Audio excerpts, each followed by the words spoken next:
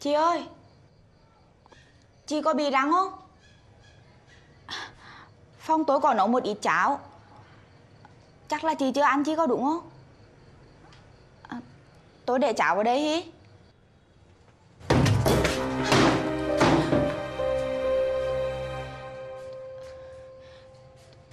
Chú Mò mẫm sang đây làm gì À, à tôi gọi ít cháu ờ, à, Mang sang cho chị ăn ạ.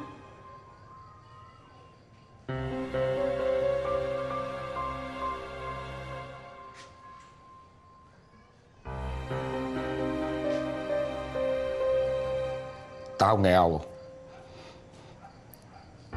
Cái nhà này cũng nghèo. Nhưng tao không bao giờ ăn của bố thí.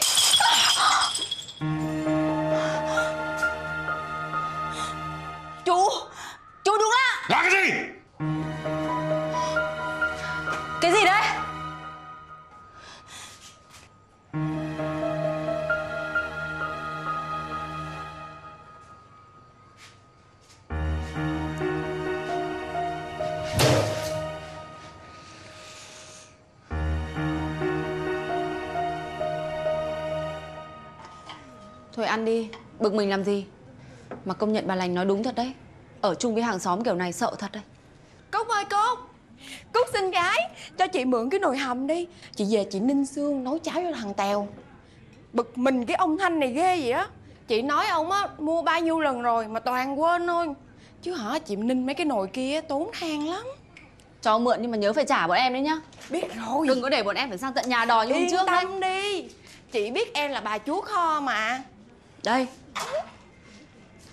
Ủa Lan Làm gì mà mặc chù dụ vậy? Thôi đừng có động vào tổ kiến lửa nữa. Nói nghe nè. Thì ra Mấy người đó là anh em. Trời ơi, mới đầu á chị nghĩ là cặp bồ với nhau không à. Mà nghe nói thằng anh á mới đi tù về. Gớm không? Mà chị thấy á, tình hình như này là không có ổn Xóm mình á, đang yên đang lành. Tự nhiên ở đâu á, xuất hiện mấy ba mấy má giang hồ. Trời ơi, bọn em tính làm sao đi? Biết tính sao? Mình chỉ là những người đi thuê nhà thôi. Còn cho ai thuê, đấy là việc của chủ nhà Làm sao mà mình can thiệp được? À trời, đâu có được. Từ trước đến giờ á, xóm mình á Đâu có chuyện gì đâu. Tự nhiên mấy ba mấy má về Xong rồi á hả Bây giờ làm xóm tùm lum tùm la lên. Chị có con chị phải lo chứ Chị Hử? Rửa chị điên tĩnh như lắm Chị á thì chị không có khéo ăn khéo nói. Nhưng mà trong cái vấn đề này á Thì ờ, Thì mình ờ, Khổ quá chị cứ nói thẳng đi Cứ long vong mất thời gian. Mình mình phải có tính thuyết phục. Cúc cúc. Hay là bây giờ em đi qua gặp bà hoạt xong rồi em rủ rỉ rù rì với bà hoạt. Làm cách nào mà cho bà đuổi mấy người đó đi đi chứ chị nói thiệt nha mình không có chết vì nghèo vì đói mà mình chết vì á, tên bay loạn lạc đó.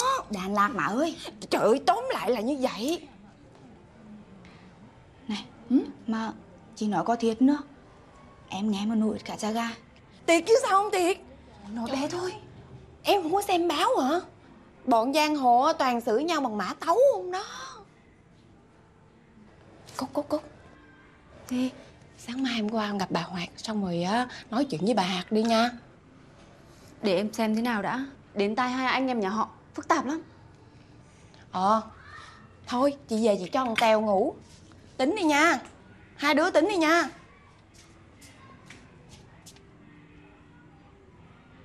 Lan Em gọi cho Trúc xem thế nào. Sao giờ này chưa về? Dạ. Ơ chị Trúc Mà chị Trúc làm trong mà tải mẹ cho chị. Trúc. Tay em làm sao thế? Em chóng mặt quá chị ạ. Em ngồi xuống đây nghỉ tạm đi.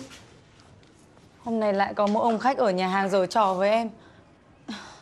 Em tức quá, lấy chai bia Đập vào đầu lão không mất năm mũi. Sao em lại làm thế? Rồi sao nữa? Cũng chưa biết sao. Anh còn lấy hẹn sáng mai lên nhà hàng Thì mới giải quyết. ạ Trời ơi Sao em dại dột thế? Nhỡ đâu họ đâm đơn kiện mình thì sao? Mà em thấy chị Trúc làm nữa là đúng đó. Cho đáng đời cái lão già dế. Mà nếu bị lên đồn công an Thì chị cứ khai thiệt đi. Nó phải sợ không?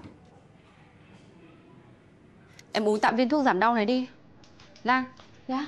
Sang nhà chị lành xin cho chị đánh gừng Dạ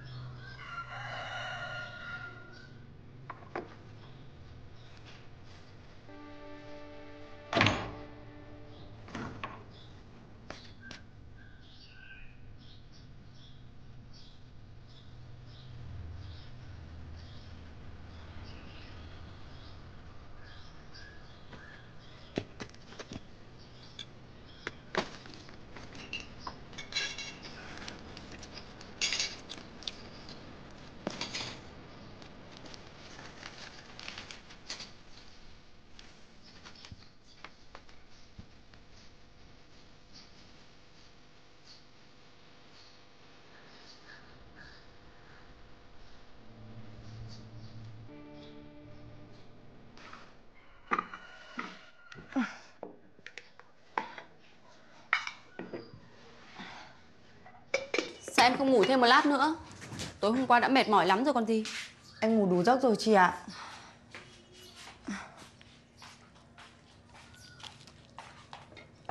Bánh đa chị ngâm sẵn rồi đấy. Lát nữa ăn thì đun lại nước sôi nhá. Vâng, em cảm ơn chị.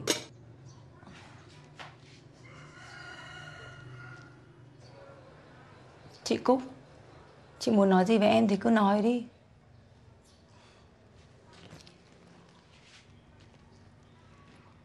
Trúc này. Ở đời Không phải chuyện gì thẳng tuẹt ra cũng là tốt đâu Cho dù mình có đúng. Tính em nó vậy rồi, không sửa được đâu. Em có thể nói chuyện nhẹ nhàng Biết đâu họ sẽ giảng hòa với mình thì sao? Chị phải nhìn thấy bản mặt đắc chí của lão lúc ấy cô Khốn nạn lắm. Mình đúng, việc gì phải chịu nhục thế? Bây giờ không phải là lúc nghĩ đến chuyện đấy. Quan trọng là mọi việc phải được em xuôi Để em còn tiếp tục đi làm. Em nghĩ bây giờ ra ngoài xin việc dễ lắm à? Cách sống của chị em mình khác nhau lắm. Chị đừng có Thôi được rồi. Em sẽ nghe theo lời của chị.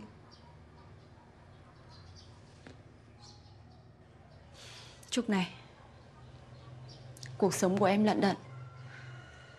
Nhưng dù có chuyện gì xảy ra Thì cũng không được đi bán sức khỏe nghe chưa? Bán sức khỏe gì ạ? Viết gì đây? Tưởng đi bán máu mà tôi không biết à? Người ta bị tai nạn Cần máu gấp Nên em mới làm vậy thôi. Có thật không? Ơ, thật mà. Thế mà chị cứ tưởng Tưởng tưởng gì? Chị hâm à? Thôi ăn đi, chị đi làm đây. Dạ vâng, chị đi cẩn thận nhá. Ừ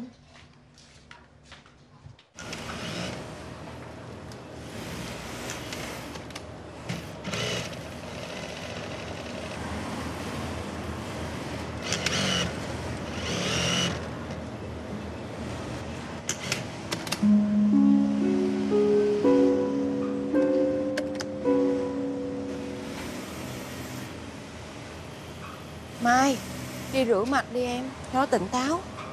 Vâng ạ.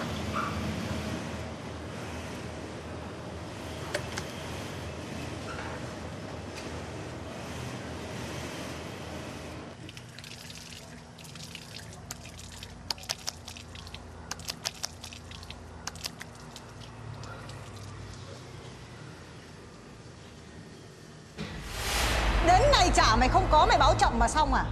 Bà định ăn thịt tôi à? Bà không ăn được thịt mày Thì bà cũng ném xác mày cho chó nó ăn Có đây, có trả. Cứ theo thỏa thuận mà làm. Từ nay căn nhà này là của bọn tao.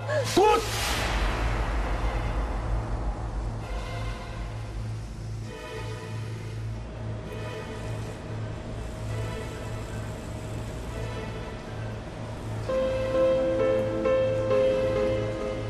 Ơ chị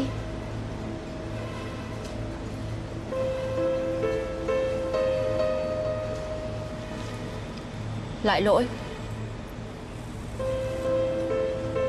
Cứ thế này không ổn đâu em ạ. Chị Em xin lỗi. Khi nãy em buồn ngủ quá nên mới như thế. Bây giờ em tỉnh táo hơn rồi Em sẽ cố gắng tập trung mà Lỗi nhiều thế này. Cuối tháng